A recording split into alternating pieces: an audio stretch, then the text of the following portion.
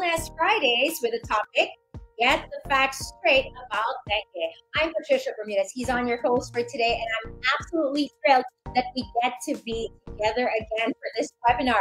We are tackling a really relevant and important topic today. Do share your thoughts, though, and learnings of this event your social media accounts using the hashtags Live Your Best Life. That's exactly what we want you to do. That's why we have this and MaxiCare Wellness Fridays. And don't forget to tag MaxiCare using their social media accounts. Are you already following them on Facebook? I sure hope so. They are at MaxiCare Healthcare Corp. Their official IG can be found at MaxiCare Healthcare.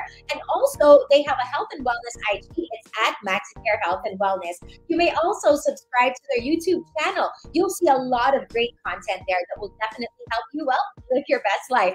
Please do look for them at MaxiCare Healthcare Corporation. For those of you who are watching our live stream, do press that share button right now. Can you do it? Right now. Press the share button share it to everybody. And you can help educate your friends and your loved ones by posting this event on your pages. And please don't forget to also press the like button. Can you guys do that? Those who are watching us on social, press the like button as many times as you can. Or especially when you hear something that is useful, relevant, and important to you. Today we have our experts, Dr. Sibel Abad and Dr. Jericho Alvaran, who will share their expertise and experience about dengue. In this interactive session, we'll be more informed about dengue, its signs and symptoms, the right time to bring a suspicious dengue case in the hospital, and how to manage and treat it. I know that you all are excited to get more information and get the facts straight about dengue, right? But first, let's answer some poll questions before we get going. Is that okay with you guys? This is going to be quick, and all you have to do is click on the answer that best suits you. And this will be for a lot of people who are watching us on Zoom. Are you guys ready? Here we go. Here is our first poll question. On a scale of one to five, five, of course, being the highest, how informed are you about dengue? Hmm, do you feel like you know everything there is to know about dengue? Well, then you're definitely a five. If you have no clue or really have little knowledge about this, but you're here because you want to learn, maybe you're a one. So let's see the results to see where people are at. And most of us are on three. 43% of us are midway. That means we know enough. Oh, there's still so much to learn about dengue. And I'm glad that you're here to do just that. Let's go to our second poll question. Now, this session is jam packed with information about dengue, and that's a promise. But what specific topic do you want to know about this? And you can choose more than one. Do you want to know about the earliest signs and symptoms of dengue? That's important. New ways on how to prevent dengue. Are there new ways? What about how to protect oneself from dengue? So this is talking about you. You protect yourself. What about what causes dengue? The high risk places or situations for dengue or how to manage or treat dengue. Sige nga, alin dyan sa mga subtopics, yung mga particular information na gusto nyong marinig or matutunan about dengue in this topic. So many of you, of course, want to know how to manage or treat dengue and want to find out what the earliest signs and symptoms are of dengue and, of course, how you can protect yourself from dengue. Those are great topics, and we will definitely tackle those with our experts. Let's go now to our next poll question. Where do you usually get your information about dengue? I wonder if you rely solely on news, on television. What about on blogs online? You know, there are a lot of mommy and parenting blogs out there. There is also a lot of information on Facebook and other social media channels. Is that where you get your information from? What about from friends? And from relatives. Uh, you Tita Marites joke. Uh, what about from medical professionals? from their lectures, their webinars, or when you go for a consultation, of course, lectures and webinars like this one are very helpful. Saan nyo nakukuha yung mga information that you know about dengue? A lot of people do attend uh, webinars such as this one, and I'm glad. Thank you for being here. And so many also get it from the news on TV. Thanks for sharing with us that information. It also helps us understand and know where you're getting your information from. But this one, we have two experts who will share with you pertinent information about dengue. Thanks so much for participating. Now it's time to meet your speakers. I've been talking about our experts. Let me share information about them too.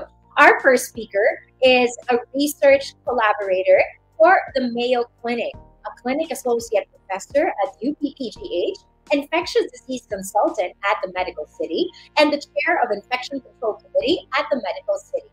He also has a board certification at the American Board of Internal Medicine Infectious Disease. We will have with us today Dr. Sibel Lara Abad. Our second speaker is a pediatrician from the Institute of Pediatrics from the Medical City and also performs home healthcare assessments for HMOs in the United States as he is certified by the American Board of Pediatrics who took up residency, by the way, at the Albert Einstein Medical Center in Philadelphia. He also practiced at the Children's Hospital in Wisconsin. We're very happy to have Dr. Jericho Alvaran with us this afternoon. Hello, Dr. Sibel, and hello, Dr. Jericho. Hello. Hello, Miss Pat. Good afternoon. Yes, it's good to see both of you. You know, I, I wonder. Um, we had you both last time. I'm sure so many things has as has happened, in particularly uh, with uh, your profession, uh, with all of the hats that you both wear. Uh, I wonder, Doc Jericho, um, have you been busy, particularly with dengue cases? Um, unfortunately, uh, dengue cases are steadily rising. So it's a little busy. All right. Well, we're going to be tackling that the rise of dengue and all the information that you will be sharing as a pediatrician. Because I, as a mother, of course, would love to know how I can protect my children and how I can detect whether they have dengue or not. But what about you, Doc Sibel? You have, uh, you know, uh, huge responsibility. Um, of course, being in infection control and uh, infectious disease. Um, what are the things that people are really worried about when it comes to dengue, especially now that, as Dr. Jericho says, everything is on the rise? Uh, is that what also is keeping you busy busy on the research side? Uh, yes. So unfortunately, there's uh, a rise in dengue cases that we've been seeing in the last few weeks, and um, uh, there was actually a research project that was supposed to uh, start but was put on hold because of COVID. Uh, COVID has put on hold many research projects that are not related to COVID, but hopefully we can go ahead and start on that dengue research project soon. All right. Thanks so much, Doc Sibel. So as you can see for our attendees and viewers, we have two great um, wonderful people who will be sharing with us, experts who will be sharing with us about dengue. But before we begin this conversation with Doc Sibel and Doc Jericho, let's have our trivia time.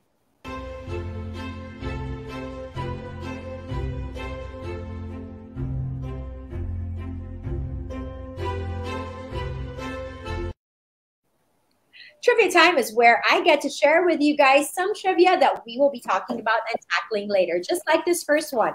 According to the Department of Health, there were 45,416 cases of dengue from January to June 2022, which is 45% higher compared to the same period last year. Central Visayas, Central Luzon, and the Zamboanga Peninsula recorded the most number of cases at 13, 12, and 10% respectively. Sorry, I just felt like I was a news reader at that time. I'm gonna turn off.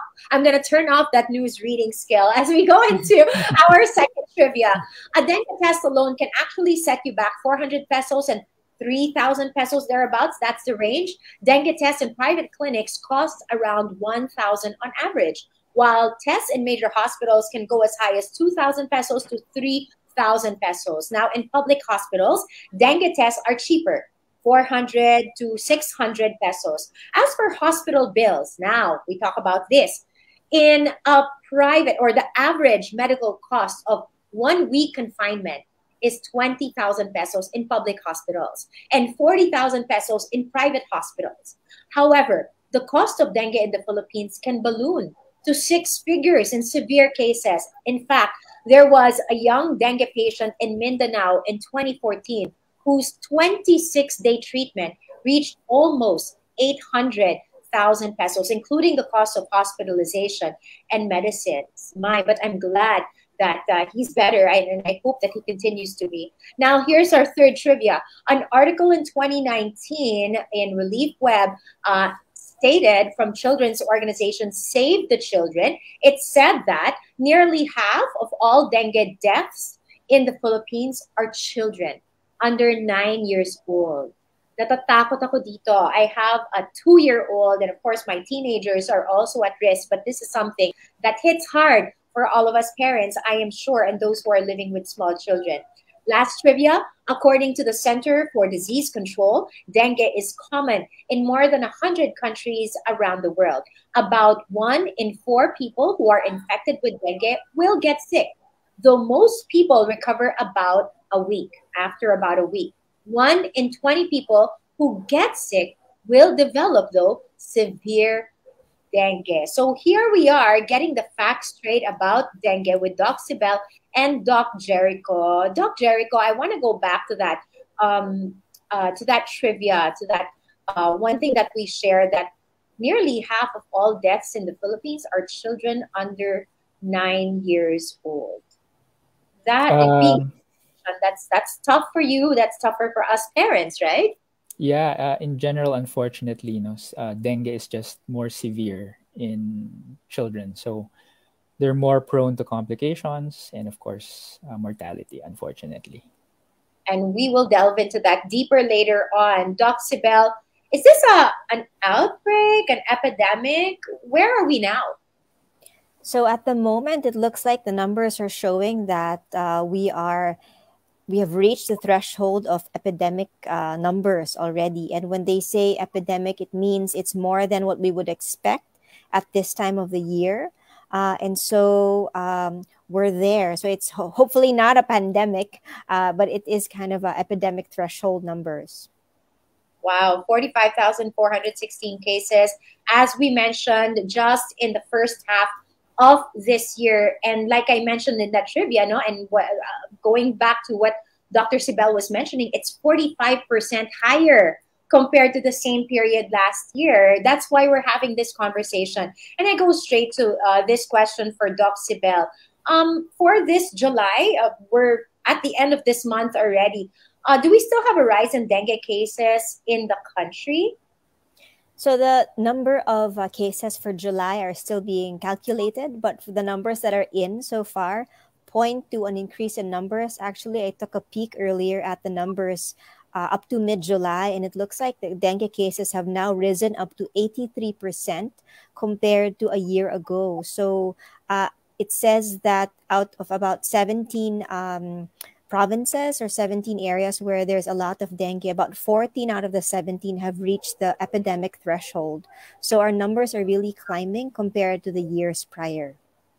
Wow. And, you know, we were talking about 45,000 cases, and that's a huge jump from the uh, January to June period to just the first couple of weeks of July. So already, honestly, I want to just show my appreciation for MaxiCare. This is such a timely conversation that we're having, and I'm so glad that we have so many attendees here and are also watching on social media. This is going to be an important conversation. Do share it on your pages. Please uh, um, uh, press that share button right now because we want more and more people to hear this. Now, Doc Sibel, why do you think um, this is so? Uh, is there an effect of the pandemic to that number that you're talking about?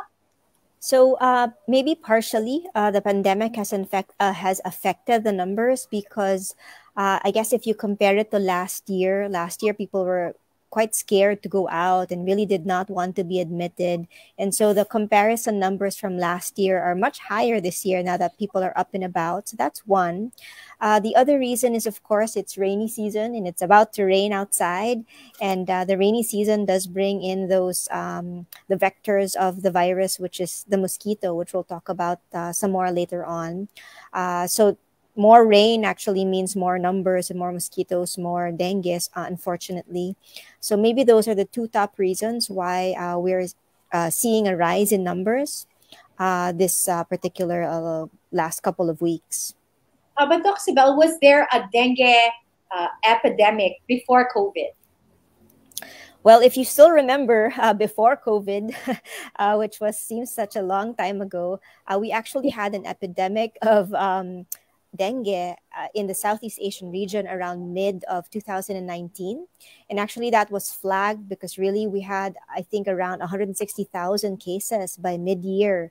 Uh, in the Philippines, which is kind of double or triple the usual number. So we did have a dengue epidemic right before uh, this COVID 19 pandemic. You're right. It seemed ages ago, you know, we, we couldn't remember. Parang stuck pa rin tayo dito.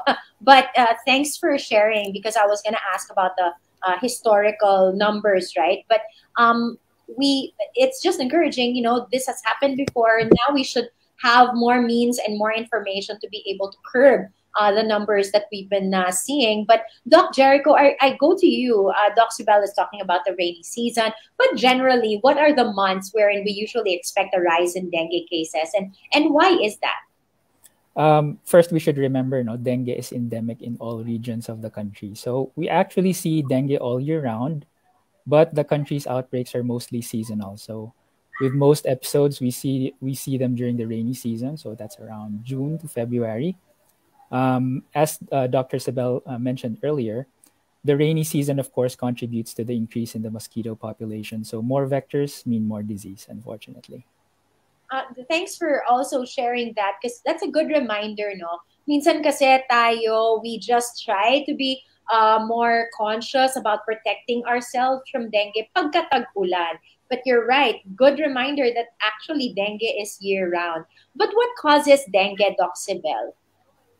Uh, so dengue is another virus. No, we're all very familiar with viruses these days. So there are respiratory viruses like COVID and the flu, but there's also uh, dengue virus, which is actually a member of a viral hemorrhagic group. So it sounds kind of scary uh, mm. because it causes a little bit of bleeding no, for some people who develop bad dengue.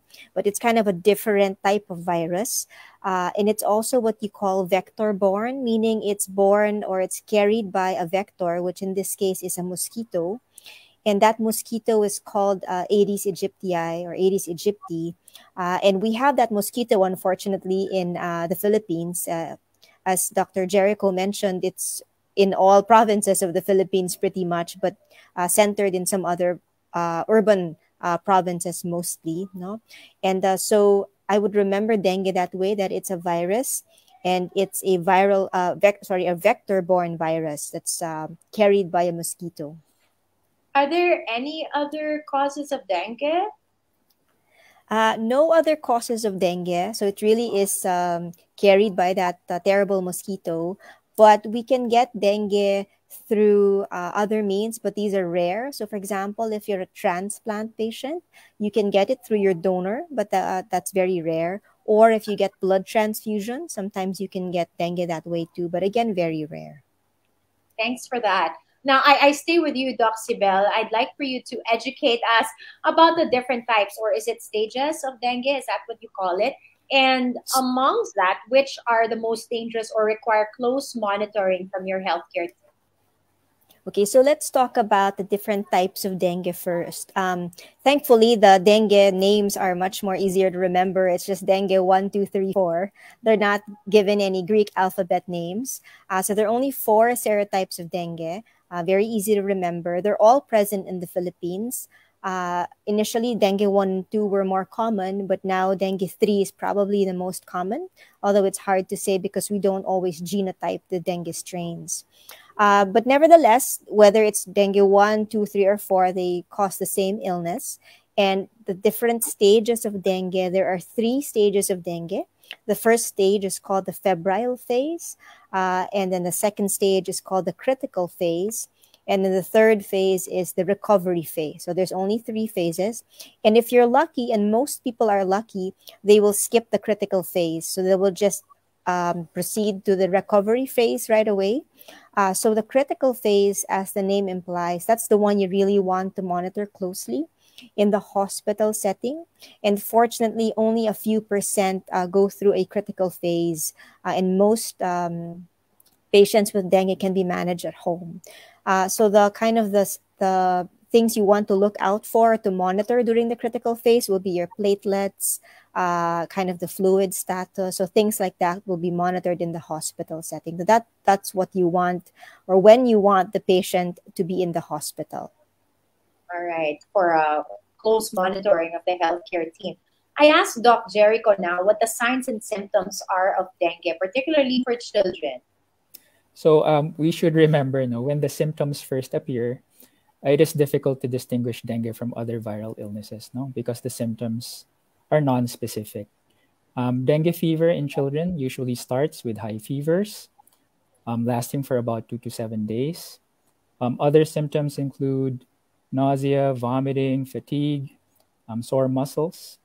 Um, in the next uh, stage, children with dengue fever may have signs of bleeding, um, like petechiae, or small red dots on the skin.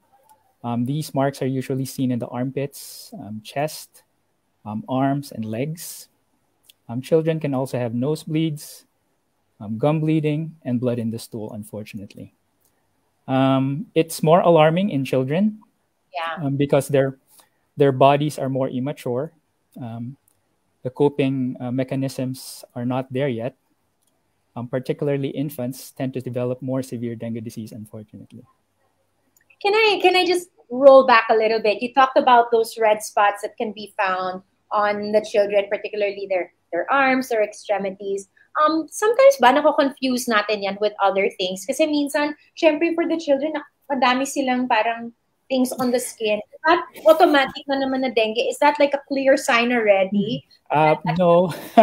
of course, you can have other rashes like a heat rash, no?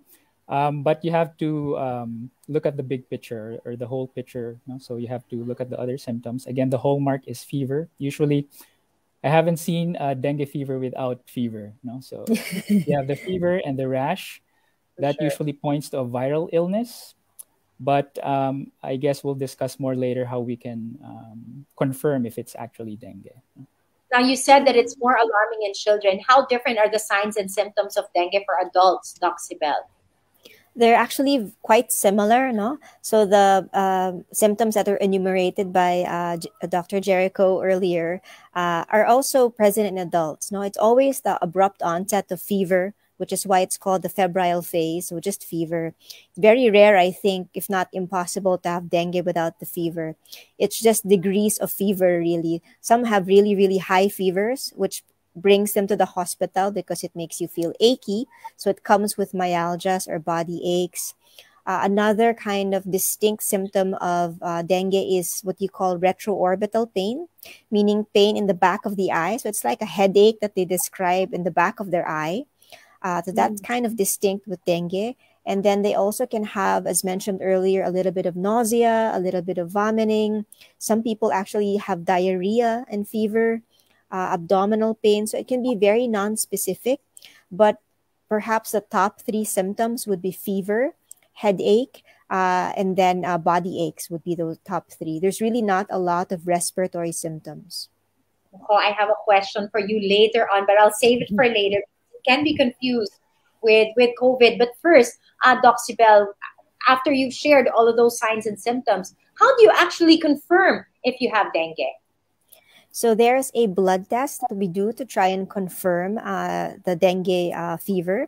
So there are typically two blood tests. One is a dengue NS1 antigen. So it's typically done if you present during the first one or two days of your fever.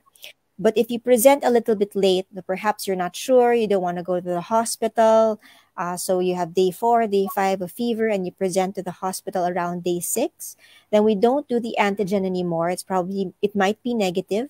So we do the antibody testing. So we do dengue antibodies uh, to try and see if your body has already formed antibodies against dengue. So those are the two main tests for um, dengue confirmation. There are some other tests, but these are rarer. So there's a dengue PCR test, uh, but typically just done in bigger institutions and for select patients only. Hey, for our attendees and our viewers, you may actually visit any of MaxiCare's 12 primary care clinics to consult with a doctor or get a lab test done for dengue. Those tests that Doc Sibel was talking about. Did you know that unlimited consultation and lab tests are part of the benefits given to MaxiCare members as well as Prima Gold and Prima Silver prepaid card holders? No appointment and letter of authorization are needed. So no LOA. Just walk in and expect your consultation or lab test needs to be addressed immediately. Ang sarap pakinggan, ganyan talaga yung service. Now, for a more relaxing healthcare experience, we encourage you to visit a primary care clinic which features state-of-the-art diagnostics and laboratory equipment. Have you been? Here are the locations, including the contact information. And let me just dwell on that a little bit. We do have a lot of locations that you can visit.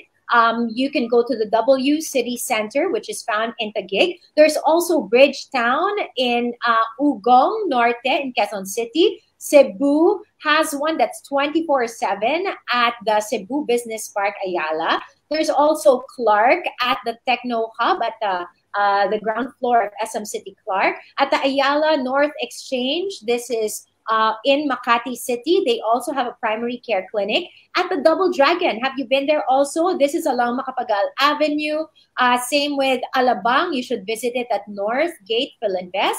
For those who are in Davao, our families in Davao, hello sa lahat. And they are in Abreeza. Double Dragon Wellness and Rehab also is at the Double Dragon Meridian Park along Macapagal. There's also four more that we're going to be sharing with you if you guys were able to capture that. They also have a primary care clinic in Centris. That is at Eton In Quezon City. And we also have one in Iloilo, which at which is at the Techno Place at the Business Park.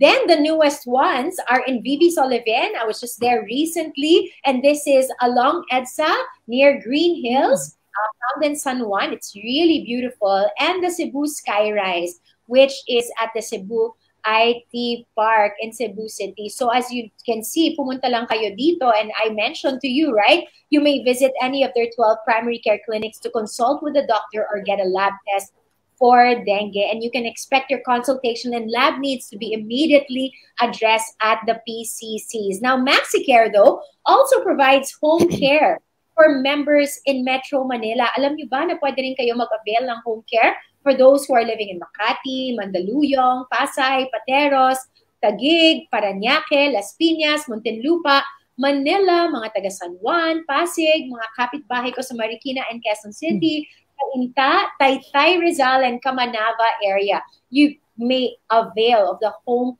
care services that MaxiCare provides for members in Metro Manila. You can also book a lab test in the comfort and convenience of your home. We will share the link with which you may book a home care service. I can see that on the chat right now. You guys can go to that link or save that for later. So these are all important and you can see more information on your screens. Great for MaxiCare to be sharing this with all of our attendees and our viewers. Doc Jericho, I shift now to you. Why do the symptoms differ in each patient? Uh, I mean, why would others only develop mild symptoms and others are a lot more severe? Is it a matter of your immunity and your mm-hmm. your uh, how healthy you are? How does that work? Um, so there are factors that determine the severity of a dengue infection. No, so first is the viral factor. So severe dengue can occur during infection with any of the four dengue serotypes um, that Dr. Sibel mentioned earlier. No, but several studies have suggested that the risk is highest with the dengue 2 virus. No, specific genotype of the virus can also affect the severity of the infection. Um, second factor is if you have been exposed to dengue before. Um, multiple studies have shown that the risk of severe disease is higher um, during a second uh, dengue infection. Um, the third factor is age. So the risk for severe dengue appears to decline with age. Um, as I mentioned earlier, infants are at the highest risk for severe dengue. So you're right, we can definitely say that a person's immune system responses are likely to play a role in the clearance of infection and severity of the disease. So let's all get healthy, right? That's why we have our MaxiCare Wellness Fridays. This is all about information and sharing all that. Thanks, Doc Jericho. We really have to, you know, I mean, our we we have to be uh, prepared for all of the different diseases that are coming about by by being healthy uh, all over. Um, I, I what is the treatment or management for dengue, Doc Jericho? for pediatric patients? So, um, again, be, fever being the hallmark of the disease, no, it is important to reduce the fever for children properly. No? So, if the children has a temperature, uh, if the child has a temperature above 38, um, you can give a sponge bath. Um, it's okay to give them a bath. It's, uh, it's you can, um, and you can give the child the right dose of paracetamol. No? So you can give it every four hours. However, please do not give paracetamol around the clock if the child does not have fever. Now, it is important for us to know um, the pattern of the fever. So if you're giving paracetamol around the clock, we wouldn't know if the child is actually having fever. Um, it is important to bring the temperature down to prevent convulsions or febrile seizures. Um, avoid certain drugs like aspirin or ibuprofen um, because uh, these can worsen platelet problems and also cause um, gastritis. Um, like most viral infections, there's no specific treatment for dengue. You only provide supportive care with fluids. Um, it is also important to know uh, that no antibiotics are needed to treat this viral infection. Mm. Um, Dr. Sibel will be will be happy to know that. Um, increased oral fluid intake is recommended. Always use oral fluids if one is able to drink. Um, supplementation with IV fluids may be necessary if your child is unable to drink um, adequately or is in shock. Um, blood products will be needed if the patient is bleeding. Mm-hmm. Again, as mentioned earlier, it is important for your child to maintain good nutrition and hydration. No? You want to give their bodies the best chance possible to fight off the infection. Good to know. Thank you so much. Uh, from a mom, from a mother. Those are really important things. Yet, we will continue to consult with our doctors. ano ba? we really appreciate uh, pediatricians like you. You are our partners, right, in, in really raising healthy, happy children. What about Doc Sibel for adults? What is the treatment or management for dengue? So the treatment in adults is also very similar to children. It's actually perhaps less uh, stringent because the adult you know can talk can discuss with you what's going on as opposed to a very young child. But the treatment is also dependent upon the phase or the stage of dengue that we talked about earlier. So during the febrile phase like doc jack mentioned earlier you really want to bring the fever down. So you would take paracetamol or an antipyretic of your choice. You can take a bath uh, which is a common filipino myth that you can't take a bath if there's a fever so you can go go ahead and bathe to bring the temperature down. Uh, and then after that, uh, you uh, also want to hydrate very well. So try to drink uh, oral fluids, uh, water, or maybe something with some electrolytes such as Gatorade. Uh, you don't want to drink, you know, coffee or tea because it will make you pee some more, and you really want to kind of hold on to all the water that you that you can. And then if you enter through the critical phase, that's really when you want to be in the hospital so you can be monitored closely. Uh, and when I say monitoring, they will monitor your blood pressure, your heart rate, uh, your temperature. Uh, they will monitor your platelets because during the cl- critical phase after the fever lysis, this is actually when your platelets will drop. And so it's very funny when you feel when you start to feel better that's when your platelets sometimes drop, and that's when you want to go home, but the doctor is saying, please stay one or two more days so we can monitor your platelets because the fever lyses, and that's when the uh, numbers start to go down. So perhaps you'll get a daily blood test uh, to check on your platelets and on some other uh, labs.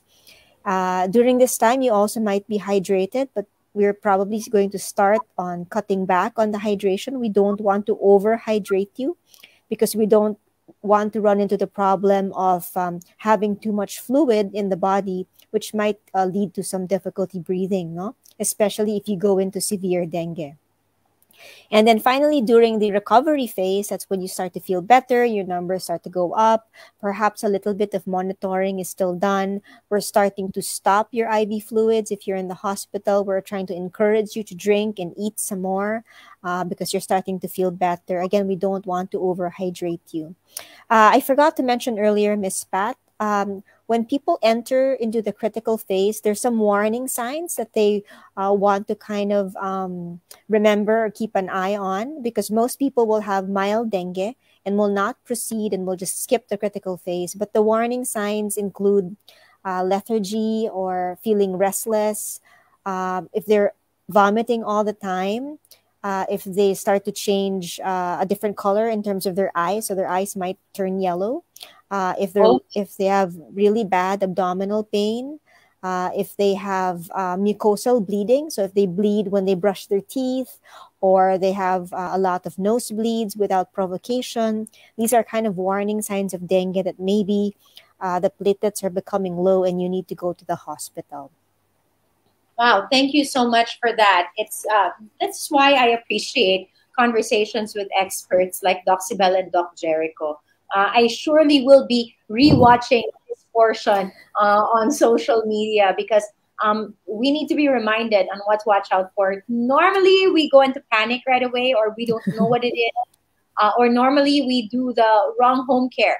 Right? Uh, a lot of people are probably still not going to hospitals um, until everything is severe. At least now we know and we have more information about that. Um, Doc Jericho, since dengue is common in tropical countries, how can we actually prevent ourselves from having it? Is it moving to North America? Of course, that's not that. that is not the answer. but how can we prevent ourselves from having it? Um, so the DOH would like to remind us to do uh, what we call the four S's, no, versus dengue. No, first is seek and destroy mosquito breeding sites. Um, second is self protection measures. Um, third is seek early consultation, and fourth is support fogging only in areas with a high number of cases. So if we can control the source of the virus, uh, we can definitely decrease the spread of the disease. So things that you can do, um, you can use screens on your doors and windows. If there are broken or damaged screens, we should repair it right away. Uh, make sure you close your doors and windows that have no screens. Um, if it is not too warm, although this may be impossible, have kids wear long sleeve shirts, long pants, shoes, and socks when they go outside. And if possible, you can use mosquito nets at night. Uh, you can, of course, use a mosquito repellent as well. Um, limit the amount of time kids spend outside during the day. Uh, the mosquito is a day biting mosquito, no? So, um, especially in the hours around dawn and dusk, um, those are uh, when the mosquitoes are most active. Um, don't give mosquitoes places to breed. Um, they lay their eggs in water, so get rid of standing water in containers. And be sure to change the water in pet bowls and flower vases. Um, Cover the buckets and drums that are used for storing water and keep your dustbins clean. That's a lot. I love the four S's the practical reminders that we can do around the house. And also, syempre, um, you know, to apply repellent. Those, syempre, I have a, I have a young one, right? Okay lang ba yung mga stickers or, you know, there's so many new things that, that we can wear. Like, I don't know if you guys are parents, those who are watching, but they do sell like repellent that are stickers that come in nice, like cartoony design. or they also have, I've seen yung parang meron pa siyang mga bracelets. Uh, I mean, do those work? Um, or better talaga repellent para you're completely covered? It is still best to use uh, the repellents, no? Um, the patches can probably repel the, the mosquitoes for a short period of time, um, but um, it is still be- best to use those repellents. The ones that you put on your wrist, um, there are no studies to show that those are effective, unfortunately. So mosquito repellents that you apply on your skin are still the best. All right. Um, sorry, medyo mag-extend lang ako. What about plants? Are there plants that we can uh, put around our homes? Uh, meron akong neem. I don't know if you guys have heard of neem trees, and that's why we planted them. Now they're trees. They used to be this this. Now I have like so many neem trees, N-E-E-M, I think, around my my house. Uh, of course, nothing uh, nothing can compare to really keeping your house clean, yung defogging in, in in areas where there are a lot of cases. But have you also heard of those plants that can help prevent? I guess I can answer a little bit. No, so yes, there are actually some plants that are that repel insects uh, in general. Also, in, that includes mosquitoes, I guess. Uh, so the ones that I've heard of are eucalyptus tree. Uh, yes. They have a nice scent, so they repel uh, these insects. And then I think citronella would be another type of plant uh, that repels insects. Uh, so you know, you see sometimes when you uh, go through um, areas where they sell a lot of plants, they'll put it on their placards. So citronella is here, you know, to prevent dengue and things like that. But I think it's more or less uh, mainly to help prevent um, insects in general. Mm, I see. But still, um, yun pa rin, yung mga in-advise sa atin ni Doc Jericho, uh, the four S's and all of those things, keeping your surroundings clean, all of the stagnant water, getting rid of that, covering pails and whatever else, those are important. And I like the screen. I'm gonna inspect our screens. Baka may butas na kailangan palitan. Doc Sibel, this was the question that I wanted to ask earlier, and I had saved it for this. You you talked about the signs and symptoms, right, of dengue. How do we now differentiate dengue from COVID? From what I hear, parang madaming similar eh. Yeah, so that's a great question, no? Especially now that the COVID number is also rising, no? So parang there's a pandemic and there's an epidemic. Uh, and as you mentioned, there's a little bit of crossover between the two because they're both viruses. And when you get a viral infection, the symptoms are really what you call non-specific. So really, you can't tell unless you get tested. But there are mm-hmm. some clues. No? So, for example, for dengue, as mentioned by Doc Jack earlier, the really prominent symptoms are the high fever or the abrupt onset of the fever, um, the headache or the retroorbital pain, uh, plus the body aches and then the rash that follows after a couple of days. No, there really is a paucity or a lack of um, respiratory symptoms with dengue. So there's not mm-hmm. a lot of runny nose. There's no cough typically. There's really no sore throat. Uh, there's no congestion. So in the absence of all those respiratory symptoms, you would think of dengue more than you would think of COVID. Okay, thank you for sharing that with us. You know, all of our attendees, I'm sure uh, some are already sending in their questions. For those who have questions, we will have um, a Q&A portion uh, in just a, a, short while. You guys can already send your questions via the Q&A box should you wish. But I'd like to thank Doc Sibel and Doc Jack. Many of the information that you shared uh, to us are uh, new, but all are very, very useful. Thank you so much. We're very grateful. Uh, like I said, we will have our live Q&A in just a short while. So do send your questions using the Q&A button found at the bottom of your screen. Now, I'd like to move on to our new segment called Myths or Facts. So with the help of our experts today, we will determine if each statement that we will present is a fact or a myth. This is fun because the best part is all of you here on Zoom, you guys are involved in the segment. Our statement statements will appear using the poll feature of the Zoom room. So all you have to do is click on fact if you think the information is correct or myth if it's false or an idea not proven yet. Right? Fun. Are you guys ready? Myth or fact? Here we go. Let's show the first one. I already had dengue once. Therefore, I am immune to it. Is this a myth or a fact? After you guys answer, I will ask our doctor to share with us whether this is in fact a fact or if it's a myth. So what do you think? If you had dengue once, you're immune. A lot of people, 94% say it's a myth. Can we ask Doc Jericho to share with us whether this is indeed a myth? Uh, so this is a myth. Um, as Dr. Sibel discussed earlier, no, dengue has four serotypes, dengue 1, 2, 3, and 4. Um, infection with one of the four serotypes of the dengue virus provides long-lasting immunity to that serotype. However, immunity to the other dengue serotypes is temporary, so an individual can be infected with another dengue serotype, and we call this a secondary infection. Thanks, Dr. Jericho. I'm gonna reserve the second poll for Doc Sibella, right? Listen to this, and all of those you can answer via poll. Durian, papaya, and tawa-tawa leaf are effective in increasing the platelet of the dengue patient. Sige nga, what do you guys think? Uh, I'm sure a lot of you have uh, tried these or have heard of these. Remember, we're gonna have Doc Sibel, who is the chair of Infection Control Committee Medical City share with us. And you know what? Medyo, medyo divisive to ha. Um, mas maraming nagsasabi na this is a fact. Durian, papaya, and tawa-tawa, Doxibel, are they effective in increasing the platelet count of a dengue patient? Well, that's uh, very interesting, Doc Pat, that a lot of people think this is a fact. This is actually a myth.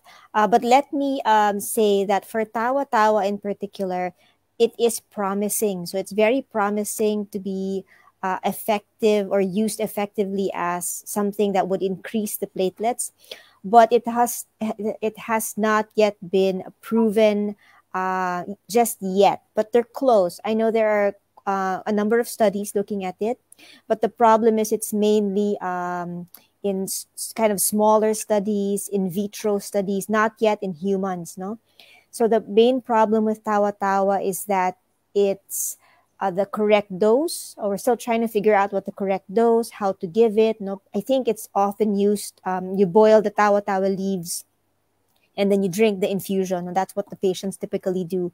Now i don't think it's harmful. So some of my patients have access to tawa-tawa in their garden or in their neighbor's garden. Then i say go ahead and you know drink your tawa-tawa but it has not yet been uh, proven very well. The durian will probably drive off the mosquito because of the smell. No, it, won't, it, won't, it won't increase the platelets. The papaya the papaya i know is still under study okay, I love durian. I love durian and I love papaya as well. So at least ano, masas- sasaya tayo at tatawa-tawa sa ng durian and papaya. But thanks so much, Doc Sibel. Let's go to our third poll question. Dengue is transmitted from humans to humans via a vector. Um, and the vector is, let me try this, female Aedes aegypti and Anopheles mosquito. Ooh, so is that a fact or a myth? And did I say that right? Is that a fact or a myth? So a lot of people say it's a fact. 77% say it's a fact. I'll go to Doc Jericho for this one.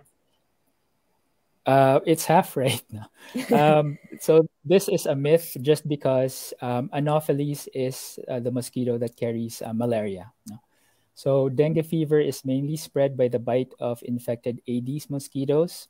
So that's the Aedes aegypti, and the, uh, a smaller population is Aedes albopictus mosquitoes. All right, thanks. That was a trick question, guys. but it's good that we're learning. Thanks, Dr. Jericho. Here is the fourth poll question. Low platelet count means you have dengue. It's automatic. Is that a myth or is it a fact?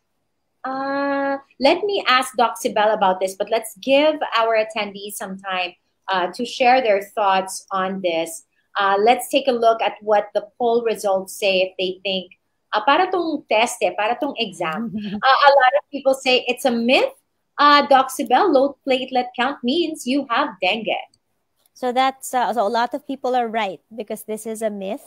Um, low platelet does not automatically mean you have dengue. There are other things that may cause low platelets. No, uh, sometimes uh, it's another illness, maybe another type of viral illness. Maybe it's just your body not producing uh, enough platelets for another reason. So it might be a hematologic problem. So again, as mentioned earlier by Doc Jericho, you have to put it into context. So low platelets by itself does not mean dengue. But if you have high fevers, if you have those myalgias, and you have low platelets, then the probability of the dengue increases. All right. Here's the final myth or fact. You cannot have dengue and COVID 19 or other mm-hmm. infections at the same time. I mean, there is no way you can be that. no, I'm just kidding. Well, I'd, I'd like to know if people think this is a myth or a fact. Can you have dengue and COVID 19 or other infections at the same time? Myth for 88% of those who have answered. What is your take on this, Doc uh, Jericho? Um, unfortunately, it's a myth, no. So mm. yes, you can get dengue and COVID nineteen at the same time. Uh, these are two different viruses that infect the body through different routes. No? So as with any infection with a bacteria or virus, there is always a possibility of a super infection or co-infection with another organism. So you just have to be very unlucky to get both infections at the same time. So sorry. I was going to say, but do just continue to eat well, stay as healthy as you can. Keep attending our MaxiCare Wellness mm-hmm. Fridays event so you can continue to get all information. But thanks so much, everyone, for participating in that segment and to also our experts for giving us so much clarity on these facts and myths. Now it's time to tackle more questions that you have sent via the Q&A box. Are you ready, doctors? Mm-hmm. Um, here is our first question. Can adults catch dengue as well and uh, well, this was answered right, and maybe it's just a reminder. Of course, yes, adults can also catch dengue, and how severe can you get it? We were saying it doesn't necessarily uh, get as severe in children, but can it also be severe in adults? Uh, so that's a great question, and the answer is yes. It can also get severe in adults, but uh, if you were here earlier, uh, one of the trivia cards was that only about one in twenty go into very bad, uh, severe dengue for adults. So it's much less so than the uh, younger population. But yes, we, we do see severe dengue in adults. Okay, I like this question. Thanks so much for sending this. Does it mean one can be sick of dengue twice for the same strain? You were you were talking about how there are multiple strains. So yes, once you are infected with dengue, you can get sick. But what about the same strain? Can you be in, infected twice from that same strain? Um, you should be immune to that strain that you were infected with. Um, okay. So the, usually the second infection is from another, uh, other, you know, the three other strains that um, you haven't been infected with. So in theory, you can have four infections, mm-hmm. unfortunately. And doc, that's true for children and adults. Yes. Correct. Okay. All right. Uh, here's another question. Um, for those who survived dengue already, what can you advise them to do? Since you mentioned that it is more scary or it can get severe the second time around. Uh, Sibel, can you tackle this? So uh, there's nothing extra that you can do except for the four S's that we talked about earlier. Um, so you really want to just uh, try and avoid uh, a second uh, dengue episode or a third or a fourth. So you would uh, kind of concentrate on trying to avoid mosquitoes, trying to kill, uh, search and destroy their breeding places, uh, self-protecting yourself. seeking early consult would be another one, especially if you're starting to feel sick and you think it might be dengue because it's your second dengue and you want to um, tell your physician right away.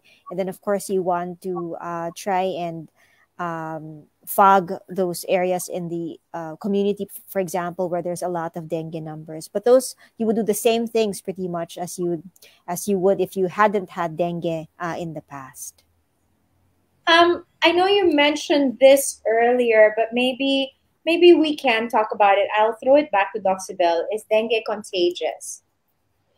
Ah, so uh, dengue is not contagious in the sense that, for example, if I have dengue right now, Miss Pat, I'll give it to Miss Pat and to Dr. Jericho. It's not contagious that way because it's uh, vector borne, meaning a mosquito has to bite me and uh, the dengue has to be in my bloodstream so that the mosquito will get it.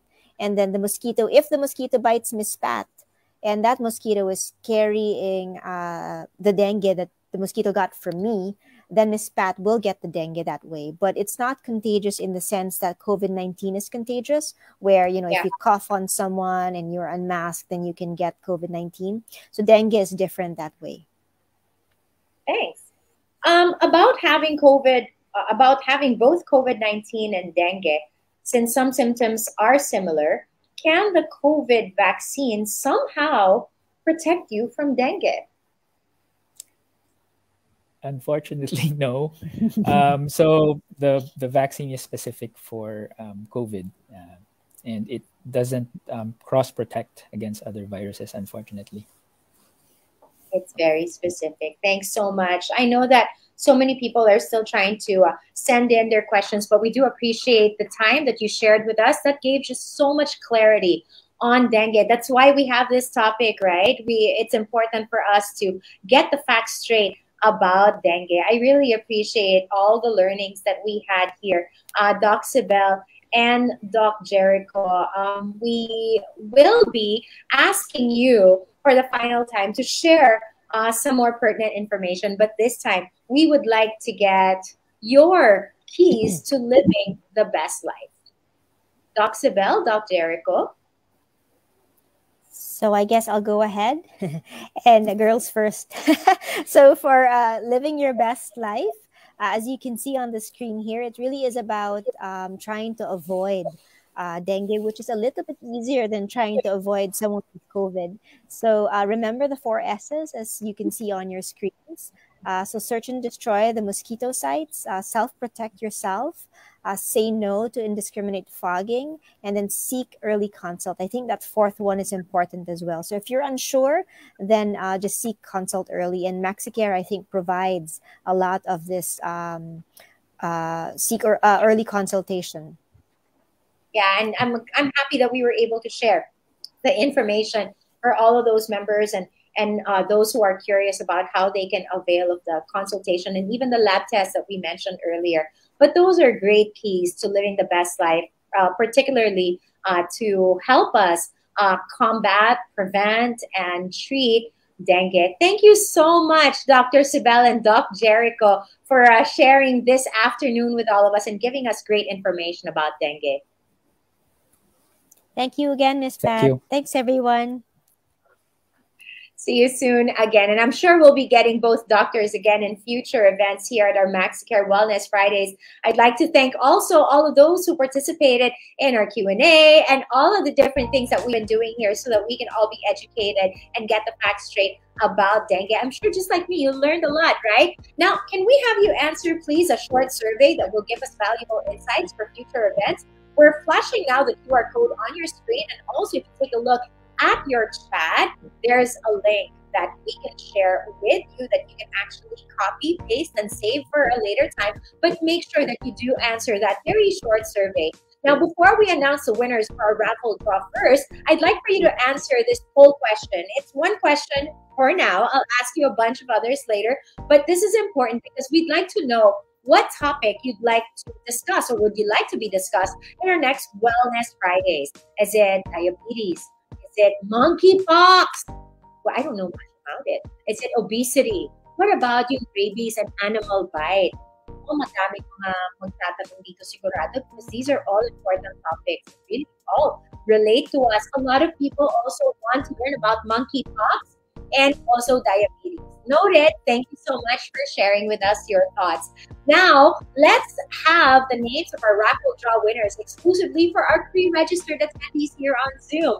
Let's read out the names. Remember, we are giving out uh, five PGCs worth, right? 100 pesos each. So let's flash the names of our winners for our raffle draw. Again, they didn't have to do anything. All they needed to do was sit here and learn from our MaxiCare Wellness Fridays event. We're happy that we get uh, to share with all of you winners. We have here Yan Manorinia, Han- uh, Hanan Mendoza, Rosanna Cruz, Nona Mateo, Melanie Lara, um, and we have also, wow, Maylin Miranda, Bianca Paioli, Jessie, Jessica Tan, Angelito Santamina Jr., and Kathy Lipstock Castillo. Congratulations to all of you now, for those who would like to have a chance to win these really awesome prizes, make sure you register for our MaxiCare Wellness Fridays events and join us here on Zoom. We will share more details later on. As we reach the end of this event, like I said, I'm going to be asking you other questions. Here is a number of poll questions that I'd like for you to answer. And again, this will just give us insights as it is all related to our Wellness Fridays. On a scale of 1 to 5, 5 being the highest important, how is it, how important is it for you to live your best life by focusing more on how to prevent infections like dengue? So one to five lang yan. Let me see the full results. Is it important to you? Of course it is. I'm sure it is. So we're just making it normal. And the majority, of course, that number five is of highest importance for all of you to live your best life by focusing on things like this. Here's our second one. If you were able to join us in previous events, have you found Wellness Friday sessions like a this one informative and useful regarding how you can take better care of your overall health? Has it been useful? Do you guys uh, now use the information? And I know some people, they now share the information that they were able to learn from these events. And that's great. So let's take a look at the poll results, shall we? Now, a lot of people, those who have attended previous Wellness Fridays, yes, overwhelming. We found these to be very, very helpful. So much. On a scale of 1 to 5, 5 being the highest, we love those scales. Rate how today's Wellness Fridays event has helped you further improve your health and wellness. So, we gave you the facts about dengue, the hard facts about dengue. Has that or will that help you with your overall health and wellness, even with your children and your loved ones? Of course, overwhelming, yes, for everyone. Thank you so much. That's very encouraging. If you enjoyed this experience, obviously, with that last cool result, you did, please do share it on your social media using the hashtag live your best life and the hashtag MaxiCare Wellness Fridays. You can also tag MaxiCare, and please do encourage you to do that. Uh, look for them on Facebook. It's at MaxiCare Healthcare Corp. On IG, it's at MaxiCare Healthcare. They also have MaxiCare Health and Wellness, and you can tag them when you share about your wonderful takeaways about this event and, of course, the information that was shared on that. Don't forget to subscribe to their YouTube channel. MaxiCare Healthcare Corporation is their channel. To learn more about MaxiCare's products, please visit www.shop.maxicare.com.ph or you can send a message to their FB Messenger. If you have questions about MaxiCare's Wellness Fridays, you may send an email also to MaxiCareWebinar at maxicare.com.ph. Will I see you guys at our next MaxiCare Wellness Fridays event in August? Well, details will be announced very soon. So make sure you guys register as soon as you see the information either sent to you or on social media. For those who are watching us on live stream, we invite you to join us on Zoom. So register for the next one. Watch out for those. Remember all the social media um, um, uh, platforms that we shared uh, from MaxiCare. You guys can go there and follow them so you can get more information. And don't forget, huh? We have exclusive perks for those who pre-register for our Wellness Fridays events. Well, that ends our event for today. Thank you so much for being with us. We hope that you enjoyed and you were able to take useful information about dengue. Thanks again, everyone. I'm Patricia Quezon. I hope you guys have a great weekend. And please don't forget that with MaxiCare, you can live your best life. Bye, guys.